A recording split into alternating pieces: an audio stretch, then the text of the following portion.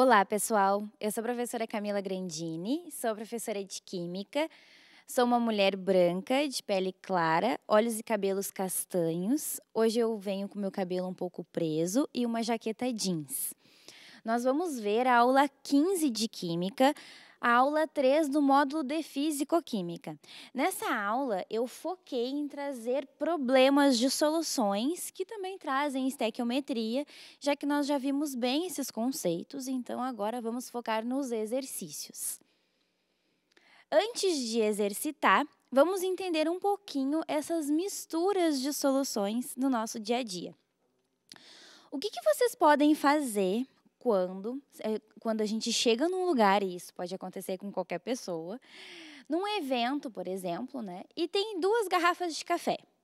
Uma garrafa de café bem adoçado, outra com café uh, sem açúcar, um café azedo. Mas eu experimento o café adoçado e vejo que ele está enjoativo, está doce demais, que não está do meu gosto. E eu também não gosto de café azedo. Então, como eu posso tomar o café do meu gosto sem sentir o café enjoativo ou o café azedo? O que, que eu posso fazer quanto a essa doçura do meu café? Se eu tenho duas misturas, duas soluções.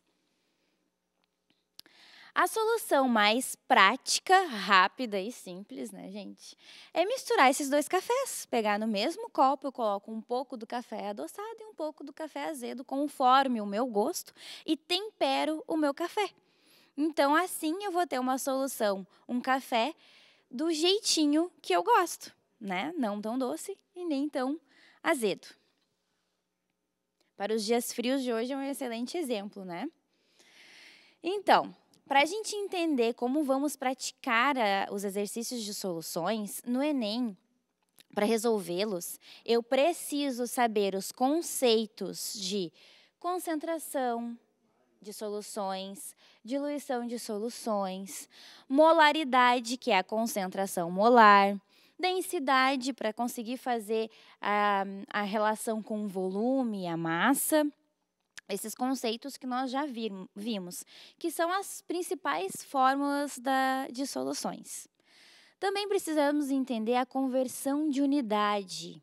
Por quê? Porque Algumas questões trazem unidades em litros, mas perguntam em ml. Outras questões trazem em quilogramas, mas a resposta está em gramas ou vice-versa. Então é importante saber fazer essa relação, essa conversão entre as unidades. Também preciso ler a questão, fazer a interpretação e elencar as variáveis fornecidas. A questão me traz massa, me traz massa molar e pergunta o volume. Então, é a variável desejada, ou seja, a questão, né, é que a que a questão está trazendo, a pergunta que a questão está tra trazendo, e saber exatamente o que ela me fornece. Por quê? Partindo das variáveis fornecidas, eu consigo verificar as unidades em que eu vou trabalhar e as unidades que eu vou precisar converter, porque eu sei a unidade que está sendo me, uh, solicitada, a variável que está sendo solicitada. Então, é super importante listar essas unidades. Anotem quando forem ler a questão do Enem ou do vestibular, anotem os dados no cantinho da folha, tendo muito cuidado com as informações de unidades ali, de se trazem dias, em horas, e também sabendo o que vai ser a pergunta central da, da questão. Visto as variáveis, eu consigo fazer a estequiometria, fazer a relação molar. Muitas vezes as questões trazem uma equação química, uma reação química, e nessa equação, se eu fizer o balanceamento, às vezes ela já vem balanceada, muitas vezes vem balanceada, eu consigo entender a relação molar da, da minha equação química. E a partir daí consigo resolver a variável solicitada. E, por fim, montar a regra de três, né, que para soluções, estequiometria, para estudo de físico-química, é muito importante ter a regra de três bem estudada, bem definida. Porque a gente não precisa lembrar destas fórmulas se a gente sabe montar essa aqui. A gente precisa entender o conceito? Claro, precisa saber o que é uma concentração comum e a diferença de uma concentração comum para uma molaridade, que é a concentração molar, até por questão de unidade. Mas eu preciso saber montar a regra de três, porque com umas unidades corretas eu descubro qualquer relação numa, numa questão de soluções e de estequiometria. Visto isso agora, vamos começar a ver, a entender como que as soluções da estequiometria é cobrado no Enem. Primeira questão que eu trouxe diz o seguinte: a utilização de processos de biorremediação de resíduos gerados pela combustão incompleta de compostos orgânicos tem se tornado crescente, visando minimizar a poluição ambiental. Para a decorrência de resíduos de nafta, naftaleno, algumas legislações limitam concentração em até 10 mg por litro para solo agrícola e 0,4 miligramas por litro, aqui é 30 miligramas por quilo, para a sala agrícola e 0,14 miligramas por litro para a água subterrânea. Então, esses são os dados que eu preciso ir anotando, porque está trazendo os limites da legislação. O resíduo, uh, o resíduo foi realizado em diversos ambientes, utilizando-se amostras de 500 gramas de solo e 100 ml de água, conforme apresentado no quadro. Então, as amostras têm um tamanho de 500 gramas para o solo e 100 ml para a água subterrânea. Aqui traz os valores encontrados das análises e a pergunta é o seguinte: o ambiente que necessita de biorremediação é o e traz as cinco alternativas. A biorremediação seria o ambiente que está fora da legislação, então precisa ser uh, feito algum alguma ação para melhorar aquele parâmetro fora da legislação. Então, eu estou trazendo várias unidades, só que aqui a resposta está em gramas. Mas os limites que me trazem do solo é em miligramas por quilo e o limite para a água é em miligramas por litro. Então, eu preciso fazer essas conversões. Inicio pegando.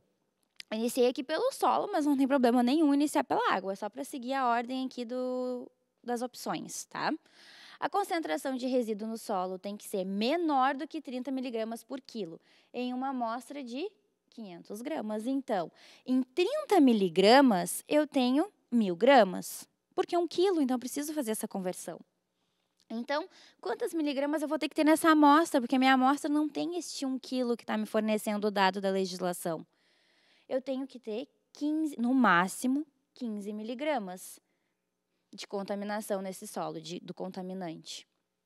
Então, a concentração no solo é 15 miligramas, mas aqui o resultado está em gramas. Para eu conseguir fazer essa simples comparação, para ver quem está menor e quem está maior, eu preciso transformar essa miligramas para grama, fazendo a conversão de unidades e notação científica. Por que essa notação científica que eu sei que vocês aprenderam na aula de física, porque eu assisti essa aula com a professora Larissa, então é importante dar uma revisada para quem tem dúvida, tá? Essa notação do vezes 10 a menos 2 é porque eu contei as casas uh, depois da vírgula, né? Por que eu fiz essa notação? Porque a questão traz a resposta nessa notação. Então, para ter mais facilidade no comparar o resultado, eu preciso fazer essa conversão. Então, o máximo de resíduo que eu posso ter é 1,5 vezes 10 a menos 2 gramas. Ok? Então, fazendo a comparação nos solos, o solo 1 tem 1 vezes 10 a menos 2. Então, ele está dentro da legislação, é menor do que a legislação permite. O solo 2 tem 2 vezes 10 a menos 2, menos 2. Então, é maior do que a legislação permite. Eu já vejo que esse solo ele precisa ser biorremediado. Mas, realizando uh, os cálculos para água, para a gente descartar qualquer uh, contaminação das outras três amostras, a gente primeiro tem que verificar essa conversão da concentração de resíduo da água subterrânea, que é 0,14 miligramas por litro, e a minha amostra só tem 100 ml. Então, eu preciso fazer essa proporção. 0,14 miligramas por litro em 1 litro. Em 100 ml, eu vou ter quantas gramas, quantas miligramas? Vou ter 0,014 miligramas na amostra. Então, eu também preciso trazer para a mesma unidade que está sendo utilizada nas respostas, que é gramas e notação científica. Como eu tenho um valor muito pequeno, né, porque 0,014 miligramas é um valor baixo, quando eu converto para gramas, né, eu divido por mil, eu vou ter uh, 0,00014 gramas. Ou seja, eu tenho cinco casas antes da vírgula. Ó, 1, 2, 3, 4, 5, para poder fazer o menos 5 da notação. Então, fica 1,4 vezes 10 na menos 5 gramas. Verificando este valor, que é a concentração máxima permitida, eu verifico que, ó, aqui está trazendo com menos 6 o resultado. Então, eu tenho que puxar uma casa para conseguir verificar, né? Para facilitar, não precisa, mas para facilitar o, a minha comparação, eu trouxe essa casa para o menos 5, para conseguir verificar se é maior ou menor. Tá? Então, fica 0,7 vezes 10 na menos 5 gramas na água 1, que é menor do que 1,4. 0,8 vezes 10 na menos 5 na amostra 2. E na água 3 eu vou ter 9, 0,9 vezes 10 na menos 5, que todos são menores do que 1,4. Então, a amostra que eu tenho que biorremediar é o solo 2, porque foi o único que apresentou um valor maior do que o permitido por legislação. Certo? Então, uma questão de cuidado com as unidades de estequiometria, a gente tem que cuidar aí quanto a gente está falando em nos tamanhos das amostras, né? Se a minha unidade traz por litro, eu preciso trazer a, aquela resposta para o litro também. E ali eu estava falando de 100 ml apenas, então precisava converter para os 100 ml. Então, esses cuidados, listando essas unidades, tendo esses cuidados, não vai ter erro na hora de realizar essas questões. Outra questão do Enem do ano passado diz o seguinte: o consumo excessivo de sal de cozinha é responsável por várias doenças, entre elas a hiper hipertensão arterial. O sal rosa é uma novidade culinária pelo seu baixo teor de sódio, se comparado a de outros sais. Cada 1 grama desse sal contém cerca de 230 miligramas de sódio contra cerca de 400 miligramas de sódio encontrados nessa mesma quantidade, ou seja, 1 grama, do sal tradicional. Tá? Estima-se que no Brasil a dose diária de consumo de sal de cozinha seja 12 gramas. E a dose máxima recomendada é de menos de 5 gramas por dia. Considere a massa molar do sódio igual a 23 gramas por mol. Considerando-se a dose estimada de consumo de sal de cozinha, em 30 dias, um indivíduo que substitui o sal tradicional pelo sal rosa promove uma redução na quantidade de sódio ingerida em mol mais próxima de. Então, muito importante a interpretação deste dessa pergunta. Por quê? Quer saber, não quer saber a dose ideal, e sim a dose estimada do consumo que nós consumimos, e não o ideal para o nosso consumo e quer saber a diferença da redução se eu substituir o meu sal tradicional pelo sal rosa, considerando que eu vou usar as mesmas quantidades. Tá? Então, a questão é a diferença de um para o outro. Então, o que eu preciso iniciar fazendo? Anotar os dados. 1 um grama de sal rosa tem 230 miligramas de sódio. Aqui eu coloquei o símbolo da, da tabela periódica, mas não o símbolo do elemento químico, mas pode-se não precisa saber nessa, nessa questão. Já um grama do sal tradicional possui 400 miligramas de sódio. Então, ele quer saber essa diferença, redução se eu substituir. Eu preciso diminuir 230 de 400. É isso que eu preciso calcular. Eu vou ter uma redução diária por grama de 170 miligramas de sódio para cada grama. Mas diz que o consumo diário do brasileiro são 12 gramas. Então, eu tenho que multiplicar 170 por 12, porque essa é a redução que eu vou ter. Eu vou ter uma redução de 2.040 miligramas de sódio. Se eu trocar para gramas, para facilitar essa, essa minha escrita, eu vou ter 2,04 gramas de sódio a menos por dia nessa substituição, usando as mesmas quantidades. Então, em um período de 30 dias, você está perguntando um período de 30 dias, isso é diário, eu tenho que multiplicar esse valor por 30. Então, eu vou obter um valor de 61,2 gramas de sódio por mês de redução. Só que a resposta, gente, é em mols. Então, eu preciso fazer essa conversão de gramas para mols. Mas a questão me traz a massa molar do sódio. Então, eu consigo resolver, porque eu sei que se em 23 gramas eu tenho um mol, em 60, 61, que é o caso ali, se não me engano, 61,2 eu vou ter quantos mols? Fazendo a regra de 3, eu consigo obter esse resultado. Eu vou ter uma redução de 2,66 mol de sódio por mês, se eu simplesmente substituir o sal de cozinha pelo sal rosa. E pede o valor aproximado, ó, o mais próximo de 2,66, eu vou ter a alternativa B, 2,7 gramas. Essa é a alternativa correta da questão 99 do Enem do ano passado também do ano passado, para vocês verem como é importante resolver essa estequiometria e as questões de soluções, porque no ano passado facilmente encontrei duas questões, e tem mais, mas eu trouxe somente duas. A obtenção de etanol utilizando a cana-de-açúcar envolve a fermentação dos monossacarídeos, formadores da sacarose contida no melaço. Um desses formadores é a glicose cuja fermentação produz cerca de 50 gramas de etanol a partir de 100 gramas de glicose, conforme a equação química descrita. Então, eu tenho, se eu tiver 100 gramas de glicose, eu formo 50 gramas de etanol. Isso é a equação tradicional, tá? Em uma determinada condição específica de fermentação, obtém-se 80% de conversão. Então, o rendimento da minha reação não foi 100% de não formou 50 que é 100%, formou 80, tá? Então isso eu consigo resolver por regra de 3 também.